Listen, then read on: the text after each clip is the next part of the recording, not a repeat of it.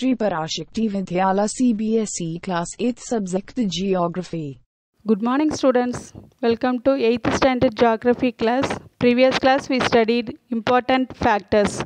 Today we are going to learn types of resources. ரிசோர்ஸஸில் எத்தனை types இருக்குன்னு பார்க்க போகிறோம் கிளாசிஃபிகேஷன் ஆஃப் ரிசோர்ஸஸ் ஸோ ரிசோர்ஸஸை வந்து நம்ம த்ரீ டைப்ஸாக கிளாஸிஃபை பண்ணலாம் first natural resource second human made resource third one human resource நம்ம first பார்க்க போகிறது வந்து நேச்சுரல் ரிசோர்ஸ் நேச்சுரல் ரிசோர்ஸஸ்னால் என்னென்னா resources that are drawn from nature and used without much modification நேச்சர்கிட்ட இருந்து அப்படியே எடுத்து எந்த ஒரு மாடிஃபிகேஷனும் இல்லாமல் யூஸ் பண்ணுறது தான் natural resource for example water so கிரவுண்டில் இருந்து அப்படியே எடுக்கிறோம். அதை வந்து ப்யூரிஃபை பண்ணுறது அப்படிங்கிறது ஒரு கன்வெர்ட்டபிள் ப்ராசஸ் வந்து கிடையாது. வாட்டர் வந்து எந்த மாடிஃபிகேஷனும் இல்லாமல் டைரெக்டாக எடுத்துக்கிறது தான் நேச்சுரல் ரிசோர்ஸஸ் இதுக்கு பெஸ்ட் எக்ஸாம்பிள் என்னென்னா நம்ம சுவாசிக்கக்கூடிய air and then soil and சாயிலிருந்து எடுக்கக்கூடிய மினரல்ஸ் இதுலேயும் ஒரு சில மினரல்ஸ் வந்து நம்ம டைரெக்டாக தான் யூஸ் பண்ணுறோம் ஃபார் எக்ஸாம்பிள் சால்ட்டு சால்ட் அப்படிங்கிறது வந்து வாட்டரில் இருந்து வந்தாலும் அது நிறைய ப்ராசஸை வந்து பாஸ் பண்ணி கிடைக்கக்கூடிய ஒரு பர்டிகுலர் மெட்டீரியல் கிடையாது. வெறும் ரெண்டு ஸ்டெப் தான் வாட்டர் வேப்பர் ஆகுது.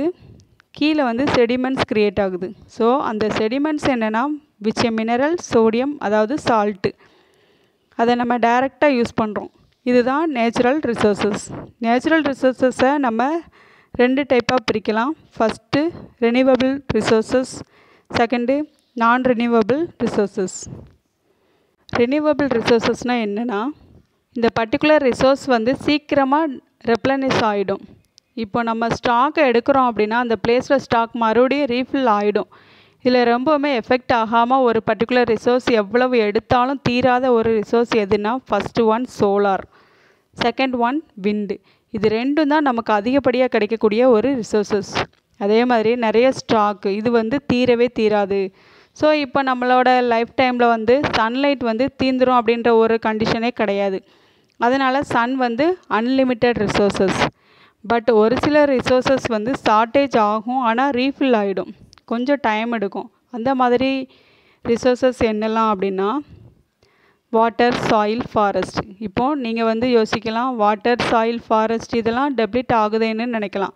ஆனால் இது எல்லாமே ஒரு குறிப்பிட்ட டைம் தான் ரீஃபில் ஆகிடும் நெக்ஸ்ட் என்னென்னா non renewable resources non renewable ரிசோர்ஸஸ்னால் என்னென்னா இது வந்து லிமிட்டடாக இருக்கக்கூடிய ஸ்டாக் நம்ம ஒன்ஸ் இந்த ஸ்டாக்கை எக்ஸாஸ்ட் பண்ணிட்டோம்னா அது வந்து மேபி க்ரியேட் ஆகுறதுக்கு தௌசண்ட் இயர்ஸ் ஆகலாம்.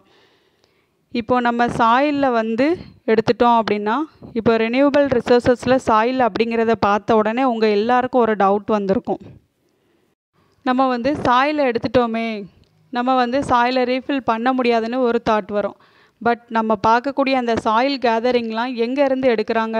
மோஸ்ட்டாக வந்து ட்ரையாக இருக்கக்கூடிய ரிவரில் இருந்து தான் பிக் பண்ணி எடுக்கிறாங்க. ஸோ ஒன்ஸ் ஹெவியாக ஃப்ளட் வந்தால் அது என்ன பண்ணும் அப்படின்னா மறுபடியும் மேலே இருந்து எரோட் பண்ணி எடுத்துகிட்டு வந்து அந்த பர்டிகுலர் பிளேஸில் வந்து சில்டேஷன் கொண்டு வந்து சேர்த்து விட்டுரும். ஸோ இங்கே சில்டேஷன் இருக்கிறதுனால என்னாகும்? மறுபடியும் சாயில் வந்து ரீஃபில் ஆகிடும் பட் நான் ரினியூவபிள் ரிசோர்ஸஸில் நீங்கள் எடுத்துட்டிங்கன்னா அது மறுபடியும் ரீஃபில் ஆகுறதுக்கு மினிமம் தௌசண்ட் இயர்ஸ் ஆகும். இப்போ சாயிலில் எடுத்துட்டோன்னா ஒரு ஃப்ளட் வந்தால் போதும். அந்த பர்டிகுலர் பிளேஸ் வந்து ரீஃபில் ஆகிடும் ஃப்ளட் வர வரைக்கும் தான் அங்கே ரிசோர்ஸஸ் இருக்காது. ஆனால் இந்த நான் ரெனியூவபிள் ரிசோர்ஸஸில் ஒரு டைம் எடுத்துட்டிங்கன்னா உங்கள் லைஃப் டைமில் நீங்கள் அதை மறுபடியும் பார்க்க மாட்டீங்க. ஸோ இந்த மாதிரியான விஷயங்கள் மினிமம் தௌசண்ட் இயர்ஸ் ஆகும். அந்த பர்டிகுலர் ரிசோர்ஸஸ் ரெப்ளனிஸ் ஆகிறதுக்கு. இது எல்லாம் தான் நான் ரினியூவபிள் ரிசோர்ஸஸ்னு சொல்கிறோம் ஸோ எந்தெந்த மாதிரியான ரிசோர்ஸஸ்லாம் நான் ரினியூவபிள்னால் coal petroleum based product natural gas எல்லா விதமான ஹைட்ரோ கார்பன் சப்ஸ்டன்ஸும் நான் ரினியூவபிள் தான் இது வரைக்கும் நம்ம பார்த்தது வந்து நேச்சுரல் ரிசோர்ஸஸ்லேயும் ஒரு சில விஷயங்கள் அதாவது distribution of natural resource so எல்லா பிளேஸ்லையும் நம்மளால் இந்த ரெனியூவபிள் அண்டு நான் ரெனியூவபிள் ரிசோர்ஸஸை அக்சஸ் பண்ண முடியுமான்னு கேட்டால் கண்டிப்பாக முடியாது. ரீசன் என்னென்னா நம்மளோட ஃபிசிக்கல் ஃபேக்டர்ஸ் நம்ம எர்த்தோட அந்த டெரைன் நம்மளை சுற்றி இருக்கக்கூடிய அந்த கிளைமேட் நம்ம இருக்கக்கூடிய ஆல்டிடியூடு இதெல்லாம் அந்த டிஸ்ட்ரிபியூஷனை வந்து அன்ஈக்குவல் பேசிஸில் பிரித்து வச்சுருக்குது. ஸோ நேச்சுரல் ரிசோர்ஸஸாகவே இருந்தாலும் அது எல்லா பிளேஸ்லேயும் அக்சசபிளாக இருக்காது. இதுதான் natural resources next human made resources human made ரிசோர்ஸஸ்னால் என்ன அப்படின்னா ஒரு சில ரிசோர்ஸஸை நம்மளால் டேரெக்டாக யூட்டிலைஸ் பண்ண முடியாது. அதாவது அதோட ஒரிஜினல் ஃபார்மில் இருக்கும்போது அதை வந்து நம்மளால் யூஸ் பண்ண முடியாது. ஸோ அதை நம்ம என்ன பண்ணுவோம் அப்படின்னா கன்வெர்ட் பண்ணுவோம். அது வந்து ஒரு செகண்டரி மாதிரி நிறைய ப்ராசஸை வந்து பாஸ் பண்ணி வந்ததுக்கப்புறம் நமக்கு ஒரு ஃபைனல் மெட்டீரியலாக கையில் கிடைக்கும். இதுதான் human made resources for example iron ore iron ஓர்லேருந்து நம்ம மெட்டலை வந்து பிரித்து எடுக்கிறோம். இப்போ அயன் ஓர்லேருந்து மெட்டலை பிரித்து எடுக்கிற வரைக்கும் நம்மளால் அயன் ஓரை செப்பரேட்டாக ஒரு ரிசோர்ஸஸாக யூட்டிலைஸ் பண்ண முடியாது.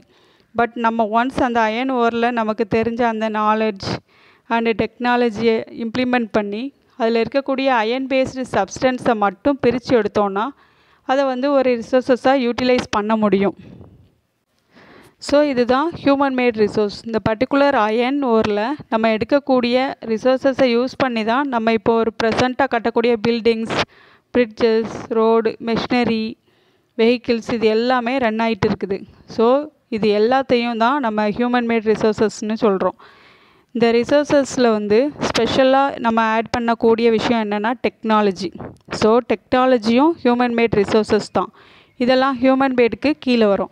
நெக்ஸ்ட்டு நம்ம பார்க்க போகிறது ஹியூமன் ரிசோர்ஸஸ் இது வரைக்கும் நம்ம பார்த்தது நேச்சுரல் அண்டு ஹியூமன் மேட் வேரஸ் இப்போ பார்க்க போகிறது எக்ஸாக்டாக இருக்கக்கூடிய ஹியூமன்ஸ் ஹியூமன்ஸும் ரிசோர்ஸஸ் தான். எப்படின்னா பீப்புள்ஸை வந்து கரெக்டான வகையில் யூஸ் பண்ணுறதன் மூலமாக நம்மளால் நிறைய ரிசோர்ஸஸை வந்து ப்ரொடியூஸ் பண்ண முடியும். க்ரியேட் பண்ண முடியும். ஸோ இப்போ ஒரு பர்டிகுலர் பர்சன் இருக்காங்கன்னா when they have that knowledge skill and the technology அதாவது இந்த மூணு விஷயத்தையும் நம்மளால் எஜுகேஷன் மூலமாக கொடுக்க முடியும். ஸோ இந்த விஷயத்தை ப்ரொவைட் பண்ணிவிட்டு கூடவே நம்ம ப்ராப்பரான ஹெல்த்தை வந்து ப்ரொவைட் பண்ணுறோன்னா ஒரு நார்மல் ஹியூமன் பீயிங் ஆர் ஒரு பீப்புள் வந்து ஹியூமன் ரிசோர்ஸஸாக கன்வெர்ட் ஆவாங்க. அதாவது நாலெட்ஜ் ஸ்கில் டெக்னாலஜி இது மூணும் எஜுகேஷனில் வரும். ஸோ அந்த எஜுகேஷனை ஃபஸ்ட்டு ப்ரொவைட் பண்ணுவோம். நெக்ஸ்ட்டு அவங்களுக்கான அந்த ஹெல்த் ஃபெசிலிட்டிஸை ப்ராப்பராக ப்ரொவைட் பண்ணுறது மூலமாக அவங்க ஒரு நார்மல் ஹியூமன் பீயிங் ஆர் பீப்புளை வந்து ஹியூமன் ரிசோர்ஸஸாக கன்வெர்ட் ஆவாங்க.